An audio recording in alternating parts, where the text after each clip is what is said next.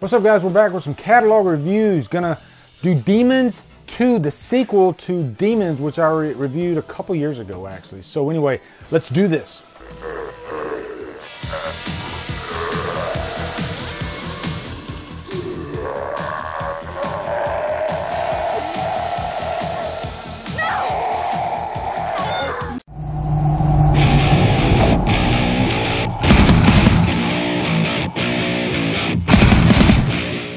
Demons 2 stars David Edwin Knight, Nancy Brilli, and is directed by Lamberto Bava.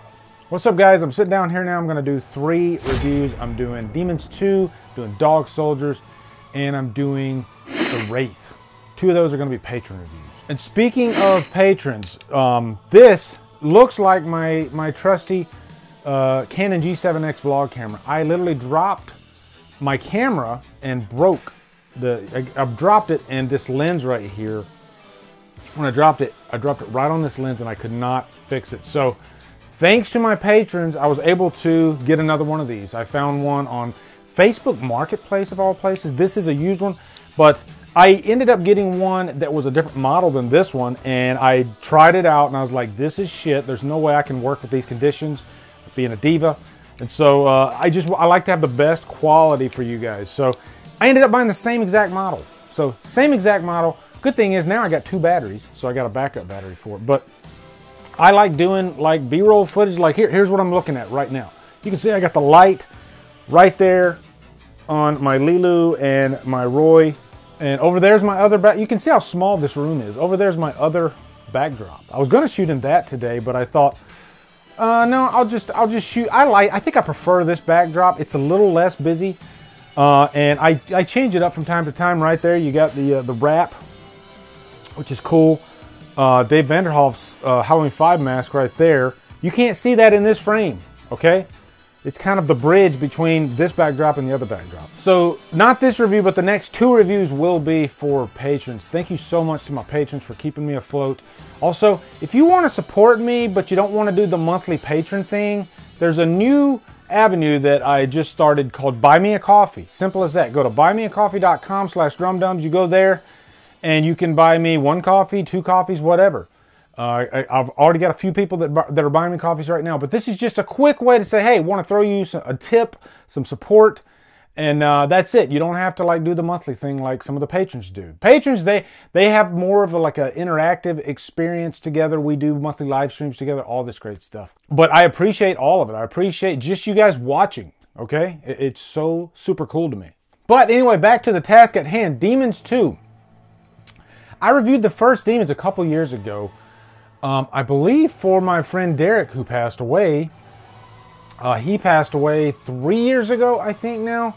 And I still have the, the werewolf that he made out of like paper mache. That's always been a part of my main backdrop.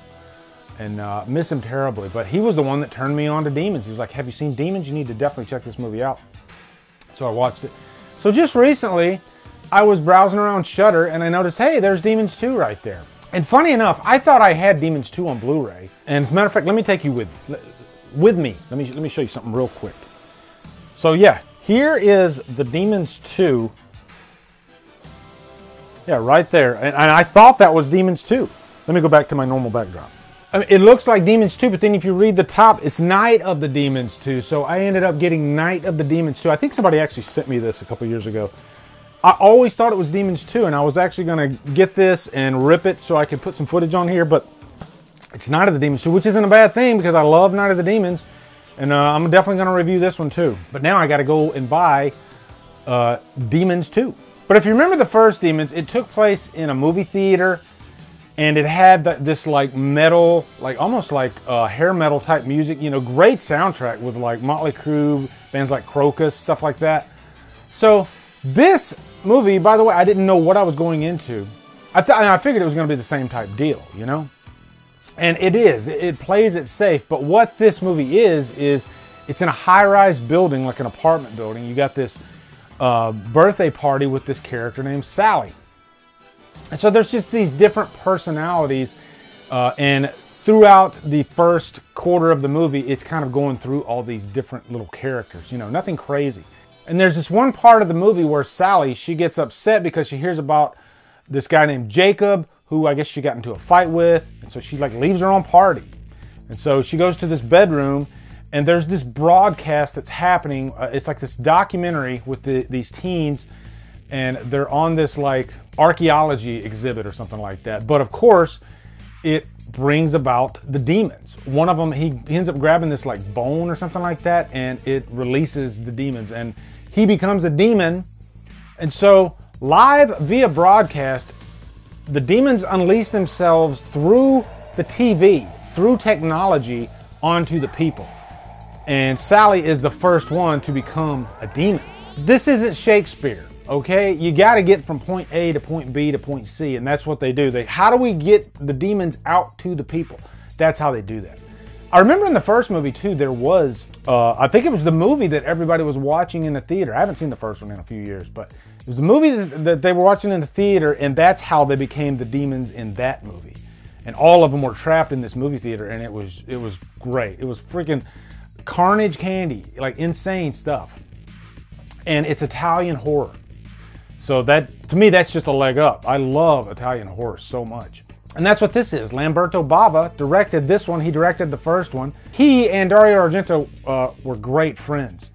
And so they, they worked together often. I mean, his, fa- his father was Mario Bava. Now, I think the difference between this one and the first one is it opens up more opportunities to go to different places in the story. The first one was pretty much in a movie theater the whole time. And it was great. But this one, yeah, you're in the high rise building, but you have like this, this gym that's in there. Uh, you got this parking structure. You got a few different places to play around with. But first off, it's scary as hell too. Like the first scene where Sally becomes a demon, she comes out of the room and there's, you know, the group of her friends, they're around her birthday cake. And she grabs hold of uh, one of the one of the guy's arms and just like squeezes it. And you can see like the demon fingernails and everything just like um, thrusting into his forearm and that's when the havoc starts happening. But I just love the way the scene is directed. You know, the camera's just like right there in the demon's face. You know, showing off the the practical effects, the, the makeup work. It looks uh, it looks so great.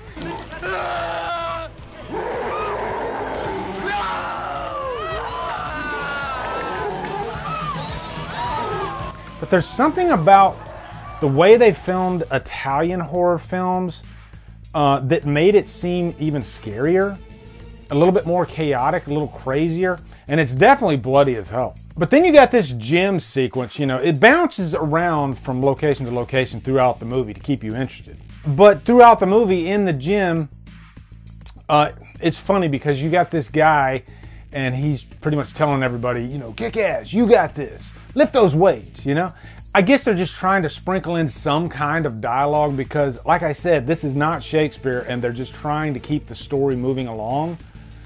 And it's kind of tough to do that when you're in one location and it's not really a, a forward moving plot. Once the demons are out, then, you know, it's just a playground and you get to see all this carnage happen, you know? So I guess the point I'm trying to make is the dialogue isn't really that important to get the point across, to satisfy your audience, to be entertaining. But also, this is like the perfect popcorn movie just to sit back and I, don't want to say laugh at, but it's just funny. You know, it's fun to watch, um, especially the gym sequence. It's just silly to see all these guys in their gym shorts, and you know, this is '80s, so they got the uh, the wife beater tank tops. I guess that's something for the ladies too. They get to see all these like sweaty guys uh, duking it out with the demons. Now, Dario Argento's daughter, Asia Argento, very young. This is her first movie. She's in this. And I'm just wondering, like, how frightening was this for her as a young child? Seeing some of the scariest makeup work ever. Like, I remember on my top 25 scariest horror movies of all time, The First Demons was on there. And that's just because of the practical effects and just how scary those uh, the facial work was. You know, the the, the yellow eyes, uh, the teeth, everything about it was just really creepy. So I wonder if Asia had a great time on set or if she was just like petrified. Maybe she was petrified when she first got there, but maybe she got used to it. I don't know. But uh, the parking structure scene is great, you know, it, because it's so many demons. It's pretty much like a zombie type movie. I think demons are more interesting, they're funner than zombies are. Uh, I think they're a little bit more unpredictable and uh, they're just more active, more crazy.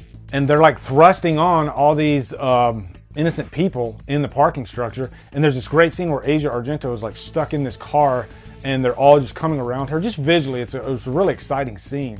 But our main uh, focal point, uh, character wise, is George and Hannah. I think they're this married couple. Hannah is pregnant. And so at the, the like the last act of the movie, there's this like showdown between George and Hannah and the demon version of Sally.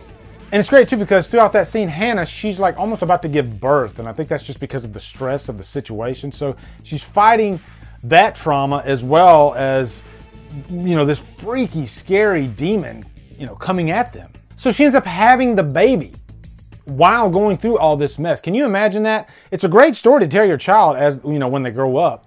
Mommy, Daddy, what was it like when I was born? Well, let me tell you what it was like when you were born. We had this crazy freaking demon that was coming after us, trying to kill us as I was trying to give birth to you. Um, you want some ice cream? Last thing I gotta mention about this is the great freaking soundtrack. Like I said, the first soundtrack was more like 80s hair metal. This one is more new wave. You're gonna hear some great stuff like the Smiths, Peter Murphy, especially the Cult. The Cult had some great freaking music before they went straight mainstream rock.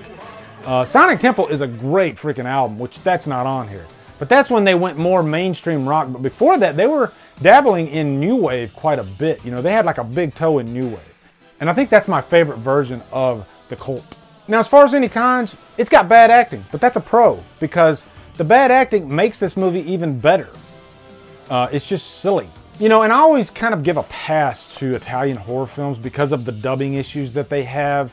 And a lot of times you'll have actors that don't speak English that have to pull off English dialogue and it comes across as a little shaky, but you can still tell that the passion is there. Like the scene where, you know, uh, Sally finds out about Jacob and she like freaks out. I don't want him to come. Otherwise, you're gonna leave and just get out of here. I mean, will you all get out of here, please? Get out!